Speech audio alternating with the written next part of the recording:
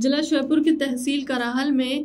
करिया देह तिराय पर गणेश के महोत्सव में खाटू श्याम का दरबार लगाया गया, जिसमें सुप्रसिद्ध गायिका आकृति मिश्रा और उनकी टीम द्वारा भजनों को गाया गया और जागृत किया गया। ग्राम कराहल में गणेश के महोत्सव में नवयुवक गणेश मंडल द्वारा खाटू श्याम का दरबार का आयोजन किया गया, जिसमें जयपुर और मथुरा के सुप्रसिद्ध गायक कलाकारों ने गणेश